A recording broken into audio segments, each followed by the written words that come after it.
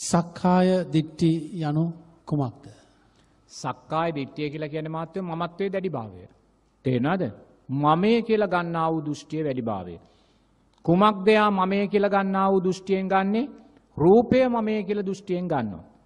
වේදනාව මමය කියල දැඩි දෘෂ්ටියෙන් ගන්නවා.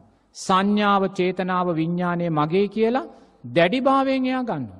මේක තමයි සක්කාය දිට්ටිය කියලා කියන්න. එතවට සක්කාය දිට්ටිය තියෙන තාක්කල් අපි කවදක්වත් උතුම් සෝවාන් පලට පත්වීමක් සිද්ධ වෙන්නේ නැහැ. යම් පිංවතෙක් පිංවතියක් සෝවාන් පලට පත්වනාය කියලා කියන්න මොකක්ද මුලින්මයා තෙරුවන් කරේ අචල සද්ධාවට එනවා සීලය ආර්ය සීලයක් හැටියට වැඩෙනවා පංච උපාදානස්කන්දය අනිත්‍ය භාවය දකිනු. මෙතැදි මේ පංච උපාදානස්කන්දය අනිත්‍ය භාවය පිංහතුන් තුළා මතු කරලා දෙන්නේ මෙන්න මේ සක්කාය දිට්ටිය කියන කාරණය සිදුරු තැනයි. සක්කාය දිට්ටිය තියෙන තාක්කල් අපිට පංචුපාදානස්කන්දය අනිත්‍ය භාවය මතු කළ දෙන්නේ නැහැ. නමුත් යම් පින්වතෙක් උතුම් සෝවාන් පලයට පත්වන වෙලාවේ එයා සක්කාය දිට්ටිය සම්පූර්ණයම ශය කළ දානු. සම්පූර්ණම නිරෝධය කළ දානු. මමත්වේ දැඩි භාවය මමත්වය නෙමේ මමත්වය නිරෝධය කරන්න උතුම් රහත් පලට පත්වන වෙලාවේ. මමත්වේ දැඩිභාවයයි සක්කාය දිට්ටියයි සෝවාන් පලට පත්වන වෙලාවේ එයාශය කල්ල දාන්න. එතොට සක්කාය දිට්ටිය කියන කියලා කියන්නේ මේ සංසාරයක් පුරාවට සාරා සංක කල්ප ලක්ෂ ගානක් පුරාවට මේ මමය මමය මගේය කියලා ඇතිකරගෙනාපු දැඩි දෘෂ්ටියයි. දැඩි දෘෂ්ටියයි. බුදුරජාන් වහන්සේ දේශනා කරනවා මෙතන ඉන්න සෑම කෙනෙක්ම සංසාරයේ අතීතයේ සක්විති රජ වෙලා ඉපදිලා තියෙනවා කියලා. සක්‍රයා වෙලා සුජම්පතිය වෙලා ස්ත්‍රීරත්නය වෙලා රජවරු සිටුවරු වෙලා ඉපදිලා තියෙනවා කියලා. ඒවගේම තිරිසන් ලෝකවලට වැටුන වෙලාවේ තිරිසන් ලෝකවල සත්ව රැල්වල නායකින් හැටියට ඉපදිලා තියෙනවා කියලා. මේ සෑම සංසාරයේ ආවා වූ මේ ගමනෙදී රූපය නිසා වේදනාව සංඥාව සංකාරයන් විඤ්ඥානය මගේ කර ගැනීම නිසා පටිච්ච සමුපන්නව ගලාවාපු මමත්වේ දැඩිභාවය තමයි මේ මොහොත සක්කායිදිට්ටි හැටියට අපේ මතු වෙලා පෙනේ. එකට මේක මේ ජීවිතය ඇතිවෙච්ච දෙයක් නෙමේ. මේ පටිච්ච සමුපන්නව සංසාරයේ රූපය කරේ ඇතිකරගත්තා වූ තුෂ්නාව නිසා ඇතිකරගත්තා වූ මමත්වේ දැඩිභාවේ ස්වභාවය තමයි මේ මොහොතෙත් අපි තුළ මතු වෙලා තියෙන්. මේ සක්කායිදිට්ටිය තියෙන නිසාමයි අපිට තාම සෝවාන් පලට පත්වෙන්න බැරි වෙලාතින්. එනිසා නිරේතුරුව බුදුරජන් වහන්සේ දේශනා කරනවා සක්කාය දිට්ටිය සිදෙන්න්න නම්. නිරේතුරුවම පංච උපාදානස්කන්දය අනිත්‍ය භාවය දකින්න කියලා. තෙන්නද පංච උපාදානස්කන්දය අනිත්‍ය භාවය දකින්න කියලා. එතර පංච උපාදානස්කන්දය කියන මොකක්ද මොකද පංච උපාදානස්කන්දය කියන්නේ රූප වේදනා සංඥා සංකාර විඤ්ඥාන්. යම් මේ සත්වයා ලෝකයට බැඳිලතියන මේ කාරණා පහනිසා කියලායි බුදුරජන් වහන්සේ දේශනා කරන්න. එනිසා බුදුරජන් වහන්සේ දේශනා කරනවා මේ කාරණා පහේ අනිත්‍ය භාවය දකිමින් ජීවත්වවෙන්න කියලා. රූපයේ අනිත්‍ය භාවය දකිමින් ජීවත්වෙන. එතට රූපයේ අනිත්‍ය භාවය දකිමින් ජීවත්වෙද්දී මේ මොහොතේ මේ රූපයේ අනිත්‍ය භාවය දකිමින් ජීවත් වෙලා විතරක් අපිට මේක කරන්න බැහැ. ගොද පටිච්ච සමුපන්නව රූපය කරේ ඇතිකරගත්තා වූ බලවත් සක්කාය දිට්ටියක් මමත්වේ දැඩිභාවයක් අපේ පිටිපස්ස තියෙනවා. එනිසා බුදුරජාණන් වහන්සේ දේශනා කරනවා අතීත පංචු උපාදානස්කන්දය හැටියට වර්තමාන පංචුපාදානස්කන්දය හැටියට අනාගත පංචුපාදානස්කන්දය හැටියට මේ තුන් ආකාරයෙන් මේ පංචුපාදානස්කන්දය අනිත්‍ය භාවය දකින්න කියලා. මේ තුන් ආකාරයෙන්ම දකින්න කියනවා. මොකද ඒසා මේ සක්කාය දිට්ටිය අපේ තිවුණුයි. සාරා සංක කල්ප ලක්ෂ ගානක් මේ ගලාගෙනෙන පටිච්ච සෞපන්න ගලාගෙනෙන විඤ්ඥානය තුළ මේ මමත්වේ දැඩිභාවය රුව කැටිවෙලා තියෙනවා. ඒ දැඩිභාවය තුළ ඉඳගෙනයි අපි නිරේතුරුව ලෝබ දවේශ මෝහකින ධර්මයන් සකස් කරගන්නේ. එනිසා නිරේතුරුව සක්කාය දිට්ටිය සිදන තැනදී මුලින්ම රූපයේ අනිත්‍යභාවය දකින්න. රූපේ අනිත්‍ය භාවය දකිද්දි මේ වර්තමාන රූපස්කන්දේ අනිත්‍ය භාවය දකින්න කියලා බුදුරජන් වහන්සේ දේශනා කරනවා. එතොට වර්තමාන මේ රූපස්කන්දය නිත්‍ය වූදයක්ද අනිත්‍ය වූදයක්ද නිත්‍යද අනිත්‍යද මේ රූපය නිරේතුරුව වෙනස් වෙන ස්භාවෙන් පවතින්නා වූ රූපයක්. ඉන් පස්සේ බුදුරජන් වහන්සේ කියනවා අතීත රූපස්කන්දය අනිත්‍ය භාවය දකින්න කියලා. අතීත රූපස්කන්දය අනිත්‍ය භාවය දකිද්දී බුදුරජාණන් වහන්සේ කියනවා පින්වතුල්ලාට ඔබගේ අම්මාගේ මවකුසට යන්න කියලා. ඒ මවකුසේ කලල රූපයක් හැටියට හැදුනා වූ තැනපටන් ඒ කලල රූපය වර්ධනය වෙලා මාසයක් දෙකක් තුනක් හතරක් පහක් හයක් හතක් කටක් නමයක් ඒ කලල රූපය වර්ධන වනා වූ ස්වභාවය නිත්‍යද අනිත්‍යද සෑම මොහොතකම අනිත්‍ය භාවයට පතක් වුණා. එතර මේ කල රූපය සැදුනෙකුමකින්ද දැම් මේ රූපේ දැන් ඔබ මේ මගේ කියලා දරාගනඉන්න මේ රූපයක් තියෙනවන නේද.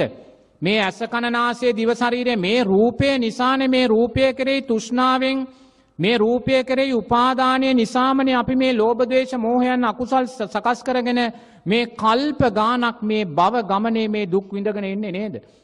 එතොට මේ රූපය ආරම්භය කොතනද. මේ රූපය කොතනින්ද සකස් වනේ. බුදුරජාන් වහන්සේ කෙනවා මේ රූපය සකස් වනේ ආහාරය තුළින් කියල. මේ රූපය සකස් වනේ කුමකින්ද දැ ඔබේ ඔය රූපය සකස් වනේ කුමක් තුළින්ද ආහාරය තුළින්. එතර රූපය ආහාරය තුළින් සකස් වනා කියන කුමක්ද. මේ රූපය මුලින්ම අම්මාගේ පැලෝපිය නාලය තුළට මතුවනේ තාත්ත කෙනෙක්ගේ සුක්්‍රාණුවකුත් අම්මා කෙනෙක්ගේ ඩිම්බේකුත් එකතුවීම තුළිනුයි. තාත්ත කෙනෙක්ගේ සුක්්‍රාණුවක් අම්මා කෙනෙක්ගේ ඩිම්බයක් කියන්නේ කුමක්ද ආහාරය පලයක්. මේ ආහාරය තුළින් මේ රූපය ඉපදුනා කියලා කියන ඔබේ ඔය මගේ කරගෙන ලස්සනයි කියලා ඔය හැඩ බලන ඔය රූපය පුතේ ආහාරය තුළින් උපන්නා වූ රූපයක් මයි. මොකදේ රූපය ඉපදුනේ අම්මා කෙනෙක්ගේ ඩිම්බේකුත් තාත්තා කෙනෙක්ගේ සුක්්‍රාණුවකුත් නිසායි. එනම් බලන මේ රූපය කියන්නේ කොයි සානම් අපුල තැනකින් පටන්ගත්ත දෙයක්ද. ඔබ බලන්න සුක්්‍රාණු බින්දුවක තියෙන්න්න වූ අපුලභාවය දුඟදභාවය පිළිකුල් භාවය කොච්චර නම් පිළිකුල්ද කියලා. මාසකට බතාවක් කාන්තාවගේ ශරීරයෙන් පිටව යන මල ඩිම්බයක් කියන්නේ කොයි සානම් පිළිකුල් සහගත කොයි සානං අපුල දෙයක්දික ලොබ හිතන්න. එනන්ගේ අපුල වූ සුක්්‍රාණුවකුත් ඩිම්බේකුත් එකතු අයිපුතේ මේ ඔබේ රූපයේ ආරම්භය කියල කියන්නේ. ඒසා පිළිකුල් තැනකනුයි මේ රූපය මතුනේ.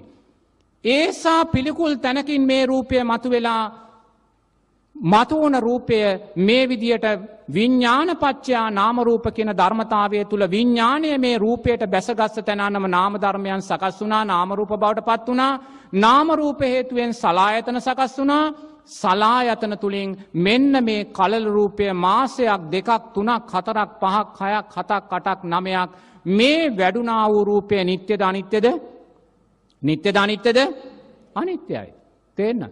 ද රූපය විදර්ශනාවෙන් දකිද්‍ය අර කලල රූපය කියන තැනට යන්නේ කල්ල රූපය අනිත්‍ය භාවය දකින්න. මේ රූපය ලස්සනයි කියලා හිතන මොහොතේ සුක්්‍රාණු බින්දුවක තියෙන අපුල භාවයක් මල ඩිම්බේක තියෙන පිළිකුල් භාවයක් මතු කරගෙන මේ රූපය ලස්සනයි කියන සිත පල්ලෙහට කටල දාන්න.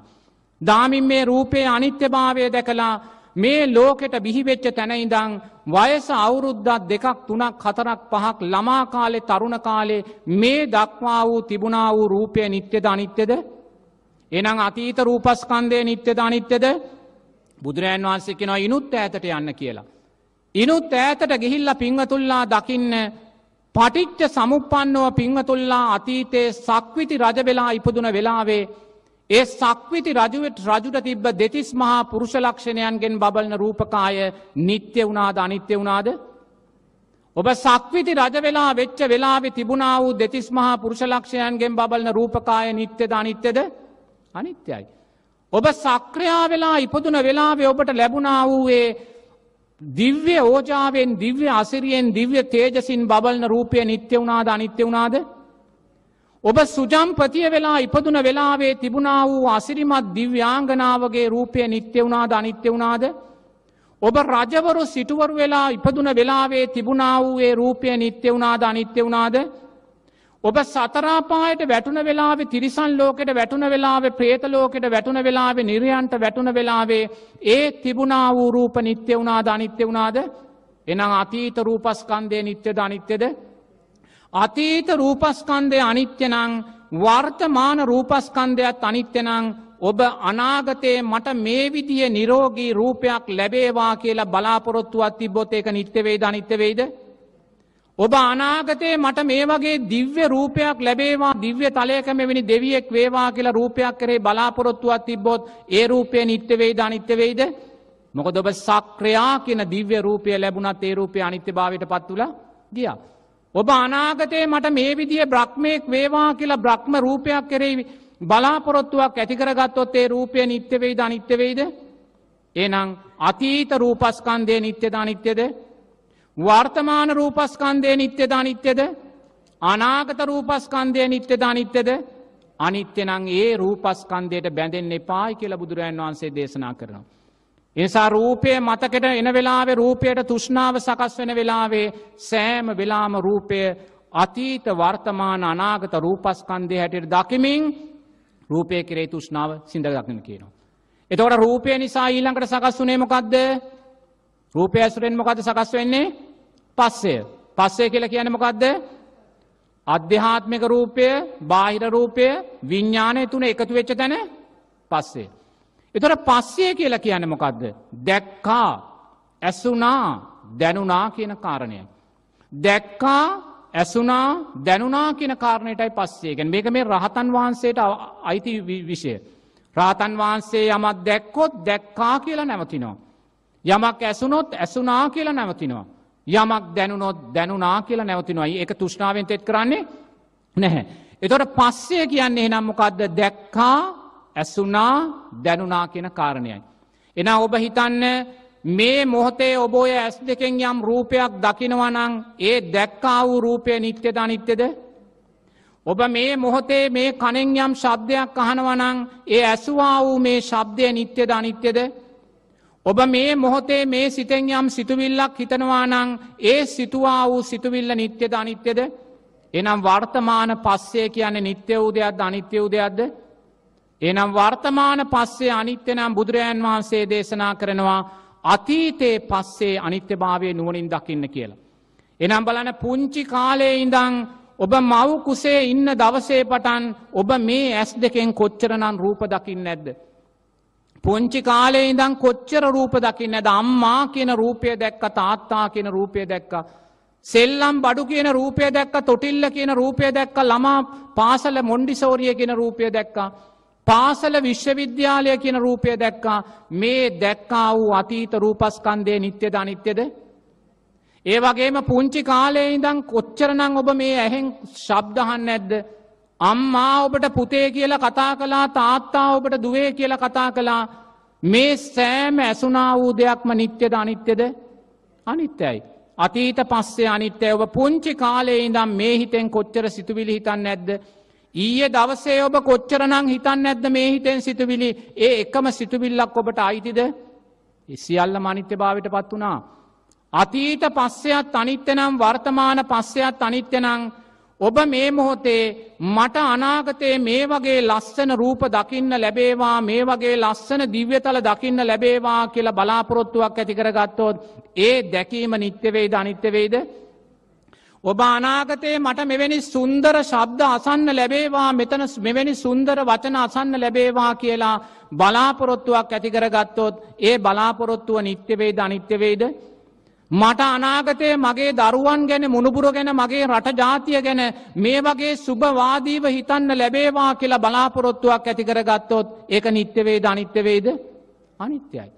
එනම් වර්තමාන පස්සයත් අනිත්‍යනං අතීත පස්සයත් අනිත්‍යනං අනාගත පස්සයත් අනිත්‍යනං ඔබ මේ මොහොතේ දැක්කා කියන තැන්ට බැඳෙන්න යන්න එපා. මොකදේ දකිනදේ අනිත්‍ය වූ දෙයක්මයි. මේ මොහොතේ ඇසන දේට බැඳෙන්න යන්න එපා ඒ ඇසන දේ අනිත්‍ය වූ දෙයක් මයි. මේ මොහොතේ සිතන දේට බැඳෙන්න යන්න එපා ඒ සිතන දේ අනිත්‍ය වූ දෙයක් මයි.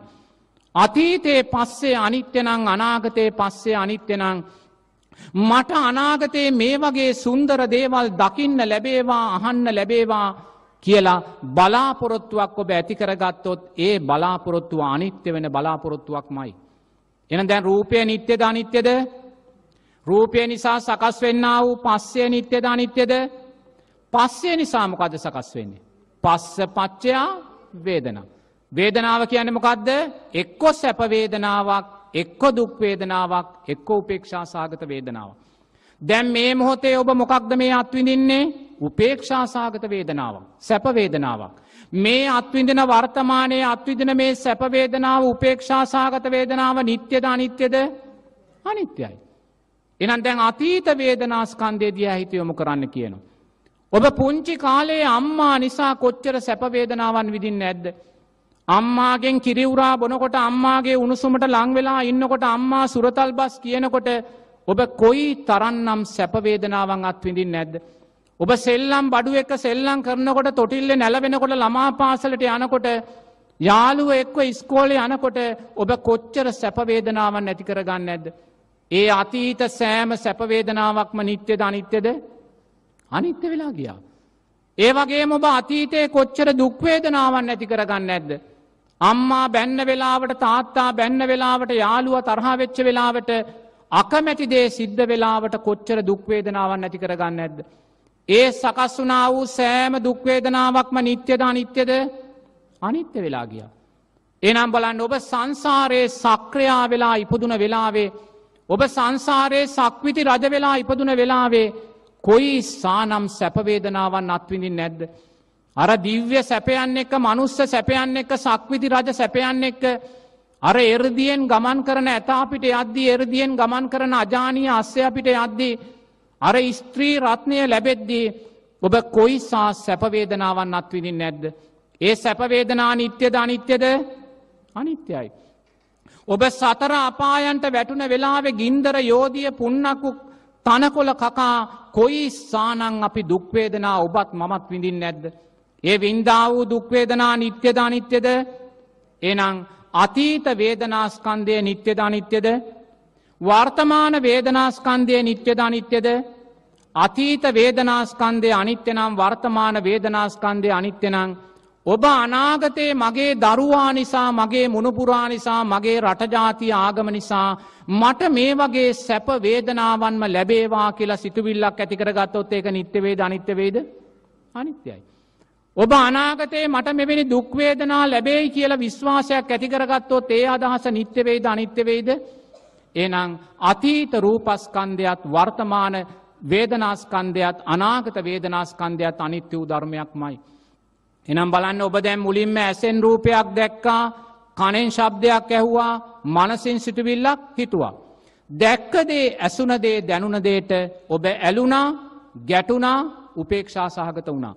දැන් ඔබ ඇල්ලුන ගැටුන උපේක්ෂා සහගත වෙච්ච දේද මොකද කරන්නේ. ඔබ හඳුනාගන්න.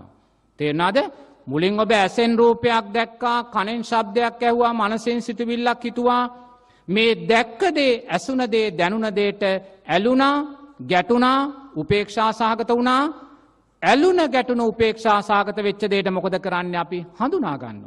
අපි හඳුනාගන්න මොකක්ද අපි හඳුනාගන්නේ. මනුස්සයෝ සීයක් ඉන්න තැන මගේ අම්මා හිටියොත් මේ මගේ අම්මා කියලා හඳුනගන්නවා. මේ මගේ රට මේ මගේ ජාතිය මේ මගේ ආගම කියලා අඳුනගන්න. මේ ජපන් ජාතිකයෙක් මේ චීන ජාතිකයෙක් කියලා අඳුනගන්නවා. මේ පරිප්පු මේ බත් මේ අල කියලා අපි අඳුනගන්නවා. එතකොට අපි මේ මොහොතේ මේ ඇසෙන් කනෙන් නාසයෙන් මනසින් යම් දෙයක් හඳුනාගත්ත නං ඒ හඳුනාගත්තා උදේ නිත්‍යද අනිත්‍යද අනිත්‍යයි. එතොට අතීතයේ අපි පුංචි කාලේ ඉඳං යමක් මේ ඇසෙන් කනෙන් නාසයෙන් දිවෙන් සරීරෙන් මනසෙන් හඳුනාගත්තනං අපි කොච්චර දේවල් හඳුනාගන්න නැද්ද. මේ මගේ අම්මා මේ මගේ තාත්තා මේ මගේ සීයා මේ මගේ ආච්චි මේ මගේ රට මේ මගේ ජාතිය මේ හඳුනාගත්තා වූ සෑම දෙයක්ම නිත්‍ය වුණාද අනිත්‍ය වුණාද අනිත්‍ය වුණා. තෙන්. එන අතීත සංඥාව කියන කාරණයත් අනිත්‍ය වූ ධර්මයක් වර්තමාන සංඥාව කියන කාරණයත් අනිත්‍යනං ඔබ අනාගතයේ මට මෙවැනි රූපයන් හඳුනාගන්න ලැබේවා කියලා බලාපොරොත්තුවක් ඇතිකර ගත්තොත් ඒ සංඥාස්කන්දය නිත්‍යවේද අනිත්‍යවේද අනිත්‍යයි. මොකද අතීතයේ අපි හඳුනාගත්තා වූ සෑම දෙයක්ම අනිත්‍ය කියලා ගියා. ආච්චි කියලා රූපයක් හඳුනගත්තා සීය කියලා රූපයක් හඳුනගත්තා රට ජාතිය ගුරුවරයා ඥාතියා හිතවතා කියල දේවල් හඳුනගත්තා මේ සෑම හඳුනා ගැනීම වෙනස් වෙලා ගියා. එනම් අතීතයේ දේත් වෙනස් වුනානම් මේ මොහොතේ කරන්න වූ සෑම හඳුනා ගැනීමක්ම අනිත්‍යනං අනාගතයේ අපි බලාපොරොත්තු වෙන්න වූ සෑම හඳුනා ගැනිත්ම අනිත්‍ය වූ ධර්මයක් මයි තියන්න.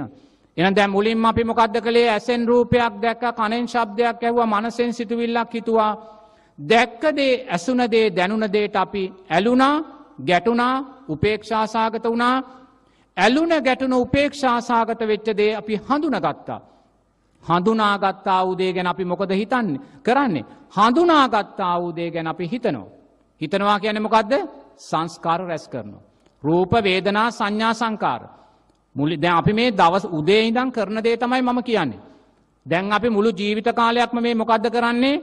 ඇහෙන් රූපයක් දකිනවා, කනෙන් ශබ්දයක් අහනවා, මනසින් සිතුවිල්ලක් හිතනවා. දැක්ක දේ ඇසුන දේ දැනුන දේට එක්කෝ ඇලෙනවා, එක්කෝ ගැටෙනවා, එක්කෝ උපේක්ෂා සහගත වෙනවා. ඇලුන ගැටුණු උපේක්ෂා සහගත වෙච්ච දේ අපි හඳුන ගන්නවා. අන්න හඳුනාගත්තා වූ දේ ගැන අපි හිතනවා. හිතනකොට මොකද වෙන්නේ සංස්කාර රැස් වෙනවා. හිතන මොහොතක් පාසා අපි මොකද කරන්නේ භවය සකස් කරගන්නවා. කුසලයක් හෝ අකුසලයක් තුළින් භවය දැන් අද උදේ ඉඳම් මේ වෙනකං ඔබ කොච්චර සිතුවිලි හිතන්න නැද්ද. උදේ නැකටින්න කියලා හිතකිව්ව මූුණ හෝදන්න කියලා හිතකිව්ව කෑම කන්න කියලා හිතකිව්ව ඇඳුම් අඳන්න කියලා හිතකිව්වා මෙතෙන්ට එන්න කියලා හිතකිව්වා දැන් උදේ නැකටින්න කියලා කියපු හිත තියෙනවාද? කෑම කන්න කියපු හිත තියෙනවාද? මේ සෑම හිතක්ම සකස් වෙලා සිත අනිත්‍ය වෙලා ගියා. සිත අනිත්‍ය භාවයට පත් වනේ කොහොමද? අපිව ක්‍රියාත්මක භාවයට පත් කල්ල. අපිව ක්‍රියාත්මක භාවයට පත් වෙලා සිත අනිත්‍ය වෙනවා. අපේ ක්‍රියාත්මක භාවය නිසා මොකද වෙන්නේ අපි කුසලයක් වූ අකුසලයක් රැස් කරනවා. දැම් මෙහෙට එන්න ඕනේ කියලා හිත සකස් වුනා දැම් මෙහෙට ආවා. දැම් මේ මොකක්ද වෙන්නේ කුසලයක්ද අකුසලයක්ද මේ රැස් වෙන්නේ කුසලයක්.